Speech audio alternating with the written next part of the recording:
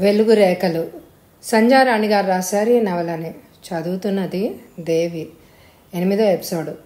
చూడండి సత్యం గారు నేను చేసిన తప్పు ఏ మాత్రం లేదు. అయినా నన్ను ఎంతంత మాట్లాడినారు? నీకు డబ్బు కావాలి కదూ? నేనే మగాడినైతే డబ్బు సంపాదించాలి కదూ? ఏ డబ్బు లేదని నన్ను మా అమ్మను అవమానించారో? ఆ డబ్బే నువ్వు ఊహించనంత తెచ్చి నీ మొహాన్ని కొడతాను. మళ్ళీ నేను నీ ఇంటి గడప తొక్కితే చెప్పు తీసుకొని కొట్టు. బాయ్. విసురుగా చేతిలో ఉన్న పుస్తకం సత్యం మొహాన్ని కొట్టి బయటకు వెళ్ళిపోయాడు. బాబు అంటూ శ్రీదేవి జయమ్మ అర్జున్ వెనకే వెళ్ళారు. ఉండండి వాడెక్కడికి వెళ్ళిపోడు.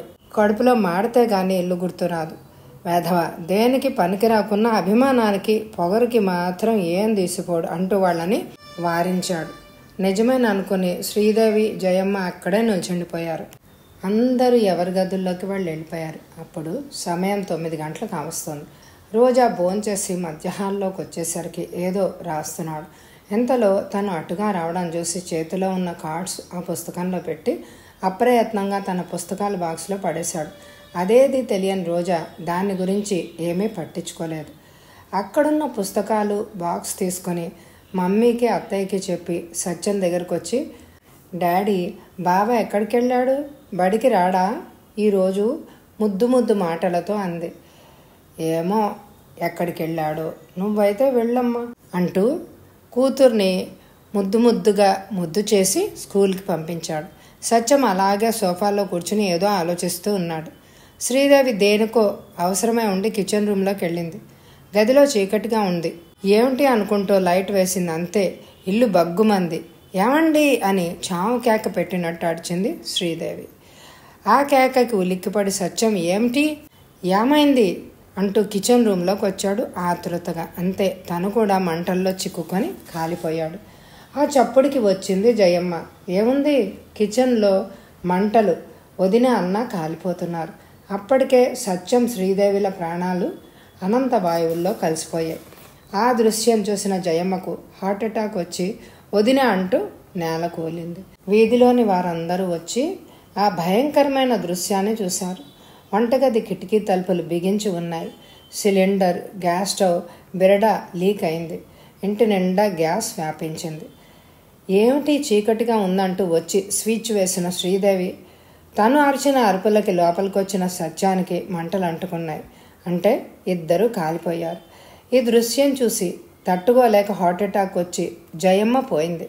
ఎంతటి విచారకరమైన రోజు అది ఒకే రోజు ఒకేసారి ఒకే ఇంట్లో ముగ్గురు ప్రాణాల బలి.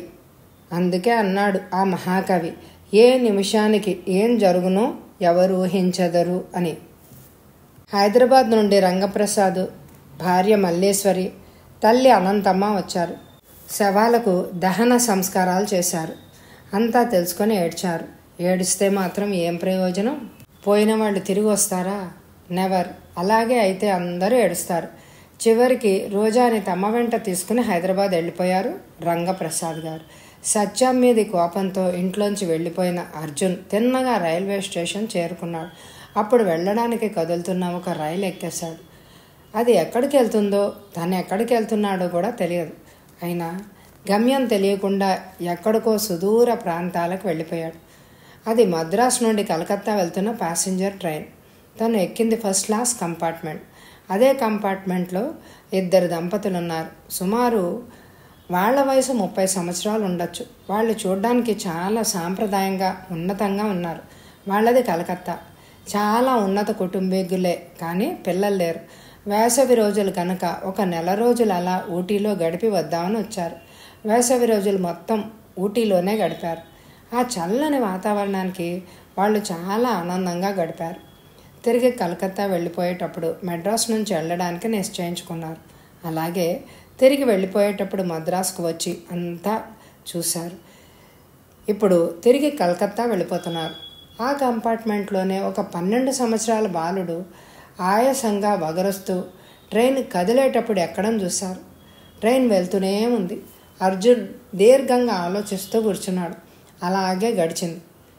ఆ కలకత్తా దంపతులు కూడా హిందువులే. అతని భార్య పేరు అన్నపూర్ణం. అతని పేరు రవివర్మ. ఆ దంపతులు అతన్ని అలాగే చూస్తున్నారు. బాబు ఎవరో? ఎక్కడి నుండి ఎక్కడికి వెళ్తున్నాడో తెలుసుకోవాలన్న కుతూహలం అన్నపూర్ణలో హెచ్చయింది అన్నపూర్ణమ్మకి స్వతహాగా పిల్లలంటే చాలా ప్రేమ. అన్నపూర్ణమ్మకి పిల్లలు లేకనే కాబోలు. ఆ ప్రేమకి కారణం. పిల్లలు వద్దు వద్దు అన్న వాళ్ళకేమో పిల్లలు పుడతారు. పిల్లలు కావాలి అన్న వాళ్ళకి పిల్లలు ఉండరు. అన్నపూర్ణమ్మకి కోట్ల ఆస్తి ఉంది కానీ పిల్లలు లేరు. అందుకే ఎవరిని చూసినా అన్నపూర్ణమ్మకి పుట్టెడు ప్రేమ పుట్టుకొస్తుంది. ఎవరినైనా పెంచుకోవాలనే అనుకుంటుంది అన్నపూర్ణమ్మ. ఏమండి? ఆ బాబు చాలా బాగున్నాడు కదూ. ఏంటి? ఒక్కడే ఎక్కడికి వెళ్తున్నాడు?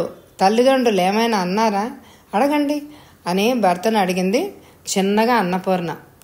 అతనికి ఆ బాబు ఎవరో ఏంటో తెలుసుకోవాలన్న కుతూహలం ఉంది కనుకే ఎవరు అడుగు? అన్నాడు రవివర్మ. బాబు పిలిచింది అన్నపూర్ణ అర్జున్ని. తననే పిలుస్తోందని విని తల తిప్పి చూశాడు అతను. బాబు నీ పేరేంటి? ప్రేమగా ఆప్యాయంగా అడిగింది. చెప్పాలా వద్దా అని క్షణంసేపు తటపటాయించి అర్జున్ కుమార్ ముక్తసరిగా చెప్పాడు అతను. అర్జున్ కుమార్ ఎంత మంచి పేరు అనుకుని అన్నపూర్ణ మరి అర్జున్ ఒక్కడు ఎటు వెళ్తున్నావు? మీ అమ్మ నాన్న ఎవ్వరు రాలేదేంటి? సాధ్యమైనంత సౌమ్యంగానే అడిగింది. ఏమని చెప్పలేదు అతను. ఇంతలో టికెట్ కలెక్టర్ వచ్చాడు. టికెట్ కలెక్టర్ అతన్ని గట్టిగా అడుగుతున్నాడు. టికెట్ చూపించమని. అర్జున్ దీనంగా అన్నపూర్ణమ్మ వైపు చూశాడు. అతడికి ఏడుపు వస్తోంది. ఆ చూపుకి పాపం అన్నపూర్ణమ్మ కరిగిపోయింది. తర్వాత రవివర్మ అతను మా బాబే అనే టికెట్ కలెక్టర్కి సారీ చెప్పి టికెట్ తీసుకొని పంపించాడు. టికెట్ కలెక్టర్ వెళ్ళిపోయాడు. తర్వాత అతని అంతా అడిగింది అన్నపూర్ణమ్మ. అర్జున్ అంతా వివరించి చెప్పి ఏడ్చాడు. నన్ను తిరిగి ఆ ఇంటికి పంపించకండి.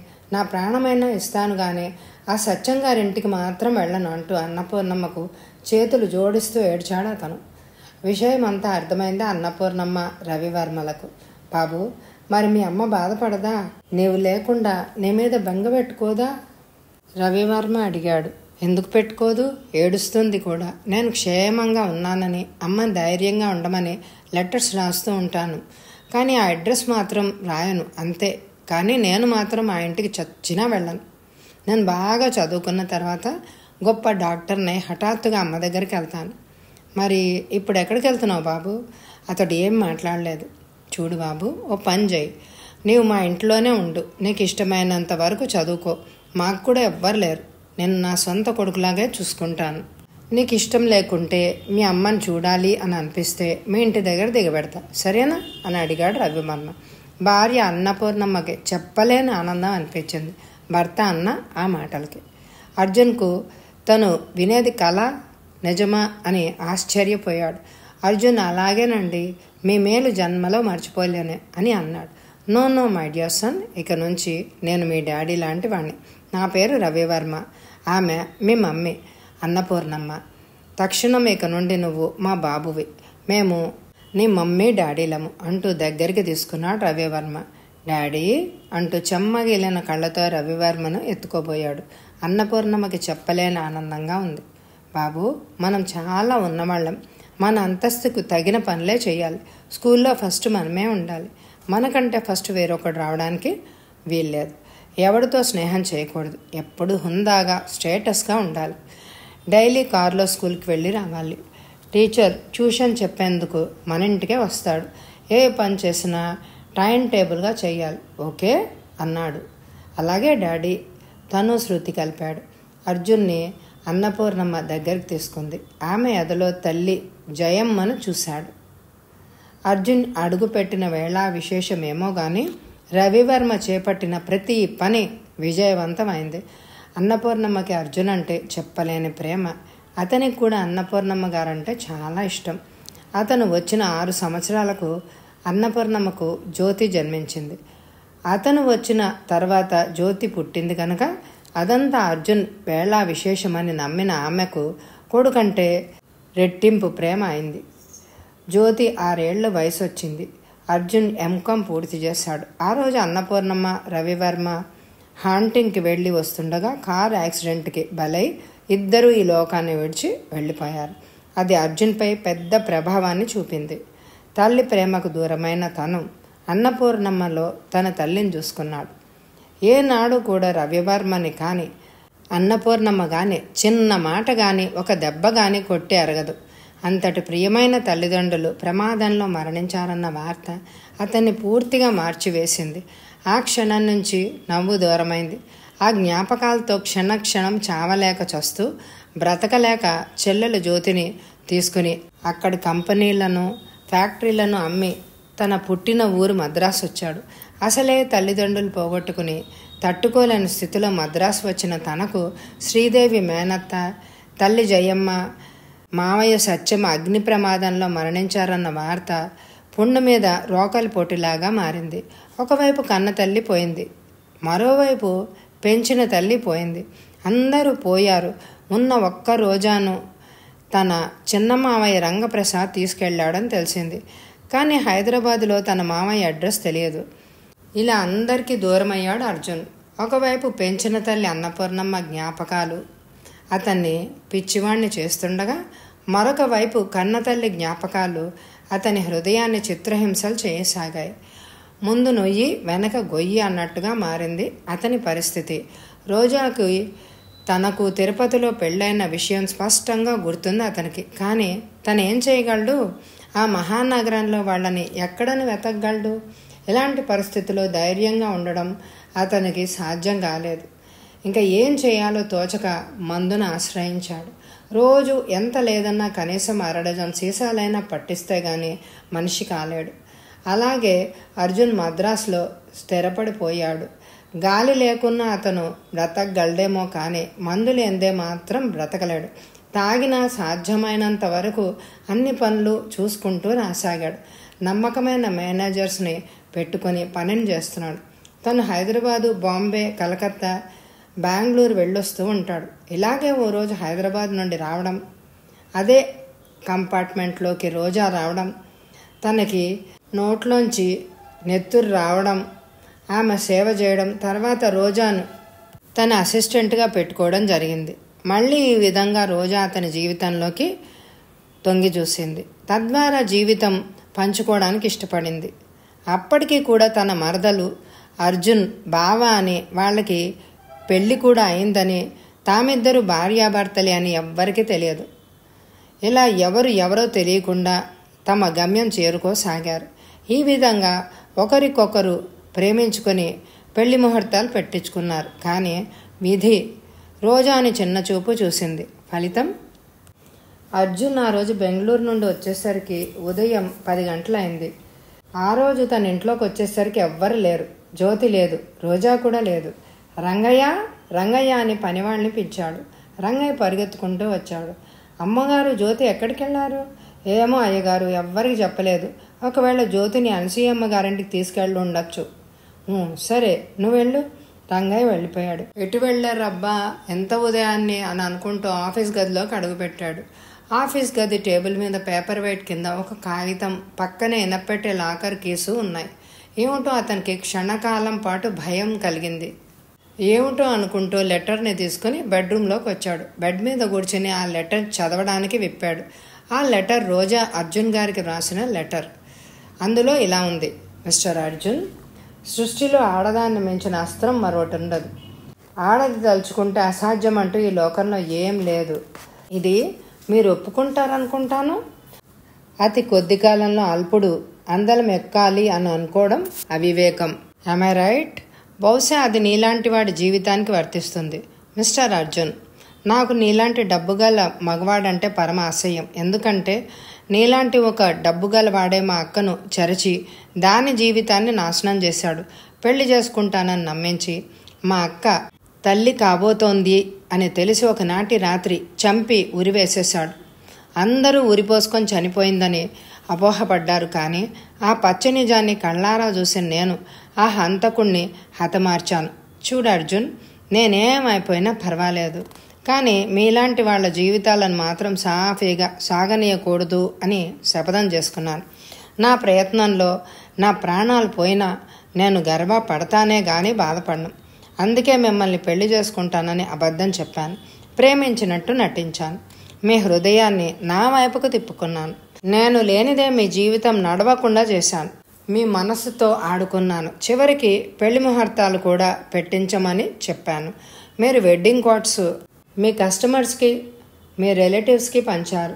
రేపు మీ పెళ్ళి రోజున వాళ్ళందరూ వస్తారు. పెళ్ళి కూతురు పారిపోయిందని అందరూ పక్కన నవ్వుతుంటే మీ పరువు గౌరవం హోదా అన్ని గంగలో కలిసిపోతాయి. ఫలితం నా కసి తీరడం. తద్వారా మీరు మళ్ళీ తాగుతారు. లేక మీకు నన్ను నాతో గడిపిన మధుర క్షణాల్ని మర్చిపోలేక పిచ్చైనా ఎక్కుతుంది. చివరికి మీ చెల్లెలు నిన్ను చూసి ఏ భయంకరమైన వ్యాధికో గురవుతుంది. తత్ఫలితంగా మీ వ్యాపారంలో చిక్కులు నష్టాలు ఓహో ఇంకెన్నో. పోనీ మీరు తాగక మరో అమ్మాయిని పెళ్ళి చేసుకోవాలనుకున్నా నిన్ను ఏ ఆడది పెళ్ళి చేసుకోదు. ఎందుకంటే ఓసారి పెళ్ళైనవాడు అదీ కాక మరోసారి పెళ్ళి ముహూర్తాలు పెట్టించాక పెళ్ళి కూతురు ఇతనులో ఏ లోపముందో ఉందో అని పారిపోతుందని. ఈ విధంగా నీ జీవితం కుక్కలు చెంపిన విస్తరి కావడం తథ్యం. చూడండి అర్జున్ నా కోసం వెతకాలని నా ఫోటో పేపర్లో ప్రకటించాలని వృధా ప్రయత్నం మాత్రం చేయకు. ఎందుకు అంటే మాది బీహార్. అయినా నేను ఎప్పుడు ఎక్కడ ఉంటానో తెలియదు. మీకు మీ చిరిగే జీవితానికి గుడ్ బై రోజా. ఆ లెటర్ చదివిన అర్జున్ కోలుకోవడానికి పది నిమిషాలే పట్టింది. కోపంతో హృదయం బగ్గుమంది అతని కళ్ళల్లో ఎర్ర జీరలు స్పష్టంగా కనిపిస్తున్నాయి. ఒళ్ళంతా చెమటలు పట్టాయి. తను రోజా తన ప్రాణానికి ప్రాణంగా ప్రేమించిన రోజా ఎంత పని చేసింది? అంటే నమ్మలేకపోతున్నాడు.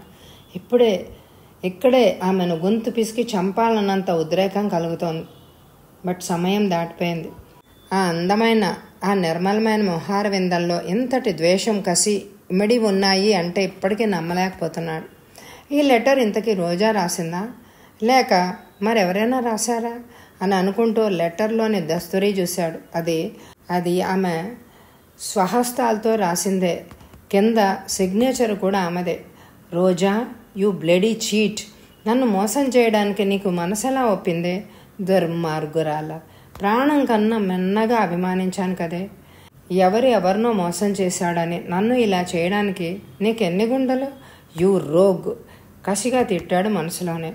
తల దిమ్మంటోంది ఇప్పుడు ఏమైనా ఒక గుక్కెడు విసికి పెడితే గాని తను మామూలు మనిషి కాలేడు. అవును. అవును తను ఇప్పుడు తాగాలి. తాగనిదే బ్రతకలేడు అని అనుకుంటూ ఇంట్లోకి వెళ్ళి విస్కీ తేవడానికి అక్కడి నుండి కదలబోయాడు.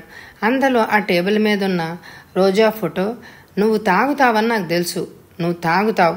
నువ్వు మళ్ళీ తాగుతావు అని నవ్వుతున్నట్టు కనిపించింది. You rogue! అని అనుకుంటూ ఆమె ఫోటో చేతిలోకి తీసుకొని బలంగా నేలకేసి కొట్టాడు. నువ్వు నిన్నంత కొట్టినా నాకేం కాదులే అన్నట్టుగా ఫోటో మీద అద్దం పగిలినా ఆమె మాత్రం నవ్వుతూ వెక్కిరిస్తున్నట్టుగా అనిపించింది అతనికి. అర్జున్ పిచ్చి పట్టిన వాడిలాగా కాలితో ఆ ఫోటోని నలిపేశాడు. నీ జీవితం ఇంకా ఇంతే. నిన్ను మరి ఆడది పెళ్ళి చేసుకోదు. రేపు పెళ్ళి రోజు నీ గౌరవం హోదా అన్ని మంటగలుస్తాయి అని ఆమె చీత్కరిస్తున్నట్టుగా అద్దంలో కనిపించింది. అర్జున్ ఆ బాధను కోపాన్ని అణుచుకోవడం అసాధ్యమయ్యే అయ్యి పక్కనే ఉన్న ఆశ్రయ తీసుకొని నిలువుట అద్దం కేసి బలంగా కొట్టాడు. ఆ అద్దం పగిలి ఇల్లంతా గాజు పలకలతో నిండిపోయింది. తన అంతరాత్మ మిస్టర్ అర్జున్ నువ్వు నీ జీవితంలో చిత్తుగా చిత్తుగా ఓడిపోయావు. రోజా నిన్ను ఓడించింది. ఇంకా నువ్వు ఈ జీవితంలో కోలుకోవు. నువ్వు తాగుబోతు అవుతావు. నిన్ను ఏ ఆడదే పెళ్ళి చేసుకోదు. చూడు ఆమె మాట అక్షరాల నిజమవుతుంది అని వెక్కిరించింది నో ఆమెనే ఓడి తీరుతుంది. నన్ను గెలవడం దాని తరం కాదు. నా గౌరవం నా హోదా నా జీవితంలో ఎక్కడికి పోవు. నన్ను మర్చిపోలేక అది నాశనం అయిపోతుంది నేను ఇక తాగను. రేపు ఈ ముహూర్తానికే మరో పెళ్ళి చేసుకుంటాను. దాని మాట జరిగి తీరదు. అతని మనసు జవాబిచ్చింది. ఎలా చెప్పగలను? ఎలా చెప్పగలనో చూడు. రేపు ఈ ముహూర్తానికే నేను మరో పెళ్ళి చేసుకున్నట్లయితే దాని మాటే నెగ్గినట్లు. That is impossible mister Arjun no that is possible ఈ విధంగా అతని మనసు అంతరాత్మలు వాదించుకున్నాయి. అవును అవును. ఆమెను ఓడించాలంటే తను తప్పకుండా మరో పెళ్ళి చేసుకోవాలి. నీచురాల నిన్ను మర్చిపోవడం నాకు సాధ్యమే. అని తను ఆమెను వెక్కిరించే రోజు రావాలి. అందుకు తను తాగకూడదు. ఆమెతో నిశ్చయమైన ఈ ముహూర్తానికే తన పెళ్ళి మరొకరితో జరగాలి. కానీ ఎవరిని పెళ్ళి చేసుకోవాలి? ఎవరిని? ఎవరిని? ఎవరిని? హైదరాబాద్లో రోజా రైలు దిగింది. తనకు తెలిసిన వ్యక్తులు ఎవరూ కనిపించలేదు. ఉదయం ఆరు గంటలు కావస్తోంది. జనం అంతగా లేరు. అటుగా వెళ్తున్న ఖాళీ ఆటోని పిలిచింది. ఆటో ఆగింది. ఆమె ఆటోలో కూర్చుంటూ బేగంపేట అని చెప్పింది. ఆటో కదిలి వెళ్తోంది. తను ఆ రోజు అలా చెప్పకుండా వెళ్ళినందుకు బాబాయ్ బాధపడ్డా పిన్ని ఇప్పుడు మారిపోయిందా? లేక మునపటిలాగే ప్రవర్తిస్తుందా? ఒకవేళ పిన్ని ఇప్పుడు కూడా అలాగే దురుసుగా ప్రవర్తించి తనని బయటికి గెంటేస్తే అలా అయితే ఎనిమిది నెలల్లో పోయే తను ఇప్పుడే వెళ్ళిపోతుంది. శత్రువు కూడా ఎన్ని కష్టాలు వద్దు స్వామి అని అనుకుంటుండగా రెండు కన్నీటి చుక్కలు రాలి గుండెల మీద పడ్డాయి. ఎంతలో ఇల్లు వచ్చింది ఆమె ఆటో దిగివాడికి డబ్బులు ఇచ్చింది సూట్ కేసు పట్టుకొని నెమ్మదిగా ఓ బంగ్లా ముందుకు వచ్చింది కాంపౌండ్ గేట్ తెరుచుకొని నెమ్మదిగా లోపలికి వెళ్ళింది ఇంట్లో భయం భయంగా అడుగుపెట్టింది ఆమె. కిటికీల కర్టన్స్ పాతపడిపోతే పని మనిషి కొత్త కర్టన్స్ కడుతున్నాడు. వాడు చేసే పనిని చూస్తే అక్కడే నిలబడింది మల్లేశ్వరమ్మ. అప్రయత్నంగా రోజా గుండెలు కొట్టుకోవడం హెచ్చింది. తన రాకకు చిహ్నంగా కొంచెం దగ్గింది రోజా. ఆ చప్పుడుకి ఎటు తిరిగి చూసింది మల్లేశ్వరమ్మ. మల్లేశ్వరమ్మకు ఆనందం ఆశ్చర్యం. అమ్మా రోజా వచ్చావా అమ్మ? అని పరుగున వచ్చి ఆమెను గట్టిగా కౌగిలించుకుంది మల్లేశ్వరమ్మ. తను చూసేది కల కాదు కదా. అనుకుని రోజా తన చేతిని ఒకసారి గిల్లుకుంది. నొప్పి అనిపించింది. అప్పుడు నిజమే అనుకుంది. ఏమండి ఏమండి భర్తను కేకేసింది. ఏమిటే అరుపులు? ఏవో కొంపలంటూ పోయినట్టు అంటూ చేతిలోని కళ్ళద్దాలు భుజం మీద టవల్తో తుడుచుకుంటూ మధ్యహాల్లోకి వచ్చాడు ఆయన అమ్మ రోజా నువ్వా అమ్మా? ఎప్పుడొచ్చావు? ఎన్నాళ్ళు ఎక్కడికి వెళ్ళావు ప్రశ్నల వర్షం కురిపిస్తూ వచ్చి రోజా తలను ఆప్యాయంగా తన గుండెలకు హత్తుకున్నారు. సంతోషంతో రోజా ఏమీ మాట్లాడలేకపోయింది. రోజా ఎన్నాళ్ళు ఎక్కడున్నావమ్మా? తల్లి నీకోసం ఎన్నో ఊర్లు గారించానమ్మా. అయినా నువ్వు కనిపించలేదు. నీ నుండి లెటర్ వచ్చేసరికి కాస్త తృప్తి పడ్డాము. ఆమె తల నిమురుతూ అన్నారు. పనివాళ్ళు వచ్చి ఆమె సూట్ కేసు లోపలికి తీసుకెళ్ళారు. మల్లేశ్వరమ్మ రంగప్రసాదు రోజా అక్కడే సోఫాల మీద కూర్చున్నారు. రోజా నీ మీద వేసిన నింద నిన్ను వెళ్ళగొట్టిన పాపానికి ఊళ్ళో వాళ్ళందరూ వచ్చి తిట్టి నా కళ్ళు తెరిపించారమ్మా. అమ్మా రోజా నీకోసం గాలించి మీ బాబాయ్కి టైఫాయిడ్ వచ్చిందమ్మా. నిన్ను పెట్టిన బాధలకు ఇన్ని రోజులు ఎంత క్షోభను అనుభవించామమ్మా అంటూ ఆమెను పట్టుకొని ఏడ్చింది మల్లేశ్వరమ్మ. రోజాకు ఆ ఆనందంతో కళ్ళ నుండి నీళ్ళు రాలేయే కానీ మాట్లాడలేదు. ఏంటి రోజా మాట్లాడవేంటి? ఏం లేదు బాబాయ్. తల్లి లాంటి పిన్ని తండ్రి లాంటి మీరు నాకెంతో అండగా ఉన్నారో కదా అని అంటూ కన్నీళ్ళు తుడుచుకుంది ఇన్నాళ్ళు ఎక్కడున్నావమ్మా రోజా? మద్రాసులో ఒక పారిశ్రామికవేత్త దగ్గర సెక్రటరీగా చేరాను. ఆయన తన ఫ్యాక్టరీని ఇప్పుడు మూసేశాడు. ఇప్పుడు నేను ఇక్కడికి వచ్చాను. ఇక్కడ ఇంత సుకుమారంగా పెరిగిన నువ్వు అక్కడ అలవాటు లేని పని ఎలా చేసావమ్మా పెద్దగా ఏం పని బాబాయ్? ఆఫీస్ పని చేయలేనా? అంటూ నవ్వింది ఆమె రోజా ఎంతకాలం నిన్న తిట్టిన తిట్లకు పెట్టిన బాధలకు ఇప్పుడు పశ్చాత్తాప పడుతున్నామమ్మా. ఇంకెప్పుడు మమ్మల్ని విడిచి వెళ్ళనని మాటివ్వమ్మా. చెయ్యి చాచింది మల్లేశ్వరమ్మ. అది మాత్రం కుదరదు పిన్ని. మిమ్మల్ని విడిచి వెళ్తాను కానీ మళ్ళీ మాత్రం తిరిగి రాను. శాశ్వతంగా వెళ్ళిపోతాను. అలాంటి నేను నీకు మిమ్మల్ని విడిచి వెళ్ళనని ఎలా మాటివ్వను పిన్ని? ఇప్పుడు ఇంత ఆపేక్ష చూపుతున్న మీకు నాకు భయంకరమైన వ్యాధి లుకేమియా అని ఎనిమిది నెలల్లో చనిపోతానని తెలిస్తే మీరు తట్టుకోగలరా? నేనే లేనప్పుడు నా మాటకు విలువేమిటి? పిన్ని తప్పకుండా నీ తృప్తి కోసమైనా నేను ఎక్కడికి వెళ్ళనని మాటిస్తున్నాను అని అనుకుని అలాగే పిన్ని మిమ్మల్ని విడిచి ఎక్కడికి వెళ్ళను. మల్లేశ్వరమ్మ చేతిలో చేయి వేస్తూ అంది. చాలా సంతోషమమ్మా. ఇక నుండి నన్ను పిన్ని అని పిలవకమ్మా. చక్కగా మమ్మీ అనే పిలవమ్మా. ఎలాగూ జీవితంలో అమ్మ అనే మాటకు నోచుకొని నాకు కనీసం నువ్వైనా ఆ పిలుపునివ్వమ్మా. నీళ్ళు నిండిన కళ్ళతో అంది మల్లేశ్వరమ్మ. ఏమ్మా రోజా ముఖమంతా వాడిపోయినట్లుగా ఉందే. జరంగానే వస్తోందమ్మా. రోజా నుదుటి మీద చెయ్యేస్తూ అన్నాడు. లుకేమియా అనే వ్యాధి బాబాయ్ అని అనబోయి అదేం లేదు బాబాయ్ ప్రయాణం చేయడం వల్ల అంతే అంది. కావచ్చులేమ్మా రోజా నీకు ఎంతవరకు చదవాలనిపిస్తే అంతవరకు చదువుకోమ్మా నీ చదువు పూర్తయిన తర్వాతే నీకు నచ్చిన వాడితో నీ పెళ్ళి జరిపిస్తాను. సరే గాని రోజా ఇంట్లోకి వెళ్ళి ముందు స్నానం చేసి భోంచేయి అన్నం ఎప్పుడు తిన్నావో ఏమిటో అన్నాడు రంగప్రసాద్. అలాగే బాబాయ్ అని నన్నింతగా అభిమానంగా చూసే వీళ్ళకు నా వ్యాధి గురించి తెలిస్తే వీళ్ళు తట్టుకోలేరు. కనుక ప్రాణం పోయినా సరే ఈ విషయం వీళ్ళకి చెప్పొద్దు అని అనుకుంటూ తన గదిలోకి వెళ్ళిపోయింది ఆమె. రెండు రోజులు గడిచింది. అర్జున్ ఎంత ఆలోచించినా ఎవరిని పెళ్ళి చేసుకోవాలో మాత్రం బోధపడలేదు. నిమిష నిమిషానికి రోజా మీద అసహ్యం పెరిగిపోతోంది. అసహ్యంతో పాటు పెళ్ళి జరిగిపోవాలనే పట్టుదల కూడా పెరిగిపోతోంది. రెండు రోజులు తల ఎంత బద్దలు కొట్టుకున్నా ఎవరిని పెళ్ళి చేసుకోవాలో మాత్రం తెలియలేదు. పెళ్ళంటే నూరేళ్ళ జీవితం అని అర్జున్కి తెలుసు. ఆమెను ఓడించడానికైనా తన నూరేళ్ళ జీవితాన్ని కూడా తాకట్టు పెట్టడానికి మాత్రం ఏమాత్రం వెనకాడలేదు. చివరికి అతని మెదడుకి డాక్టర్ సుధా మెదిలింది. సుధాకి ఇంకా పెళ్ళి కాలేదు. తనకన్నా సుధ చిన్న వయస్కురాలే. గుణం అందం సంస్కారం అన్నీ సుధలా ఉన్నాయి. సమాజంలో ఒక డాక్టర్గా తనకంటే ఎక్కువే గౌరవం హోదా ఉంది. తనలాగే సుధకు కూడా అయిన వాళ్ళు ఎవ్వరు లేరు. కానీ సుధ తనను చేసుకోవడానికి అంగీకరిస్తుందా? అని అనుకుని ముందు సుధ బంధువులంటూ ఉన్నారా? రోజుకు వేల కొద్దీ రాబడి వస్తున్న డబ్బున్న సుధ ఏం చేస్తుంది? ఎందుకంటే సుధ ఉండే ఇల్లు మామూలుగానే ఉంటుంది. స్థిరాస్తులంటూ ఏం లేవు. కనుక ఆ అనుమానం మెదిలింది. చిన్నగా సుధ విషయం తెలుసుకున్నాడు. సుధకు తల్లిదండ్రులు ఎవ్వరు లేరు. తోబుట్టువులు ఎవ్వరూ లేరు. అసలు బంధువులు కూడా ఎవ్వరు లేరు. సుధకు పిల్లలంటే అనాథలంటే బాగా జాలి సానుభూతి. అభిమానం. బహుశా తను కూడా అనాథ కనుకనేమో. వచ్చిన డబ్బంతా అనాథాశ్రమాలకు పూటకు లేని పేదలకు కొన్ని చేతి పరిశ్రమలు కల్పించడం స్కూళ్ళకి విరాళాలు ఇవ్వడం ఇది అతడు విన్నది.